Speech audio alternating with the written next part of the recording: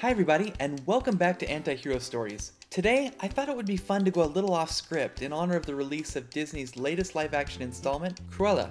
In the previous movies where her evil plan involves trying to capture 99 Dalmatian puppies for slaughter just to make a few fur coats, we learn that this classic villain's twisted obsession goes beyond just dogs. We see her in tiger fur, zebra fur, and then in the live-action movie 102 Dalmatians, we see her throwing out dozens and dozens of other fur coats. Which begs the question, what other coats are in that pile? Well, we're here to answer that question today using all three characters from our canon movie options. We won't be using Cruella from the Once Upon a Time TV series since it's not a movie. We're also getting help from The Lion King and Frozen, so if you value your childhood memories, you may want to turn back now. We also have one additional surprise outfit, so here's our top three other fur coats owned by Cruella.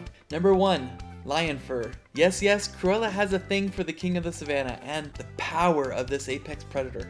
It's just a shame that this coat is flawed with a scar. Number 2. Snowman Fur. We find out Cruella likes warm hugs. Turns out in this case Olaf still won't find out what frozen things do in summer. Number 3. Common House Cat. This one really drives me batty, though it's a great character to end on seeing that Catwoman is by definition a bit of an anti-hero in the movies. That does it for our Cruella Fur Coat edition. Obviously, this review was done a bit tongue-in-cheek, and I hope it gave you guys a good laugh, or at least a chuckle or two. Thanks for joining us, and if you enjoyed this video, please like it and subscribe for more content. And click on the links to check out our other videos. Until next time on Anti-Hero Stories.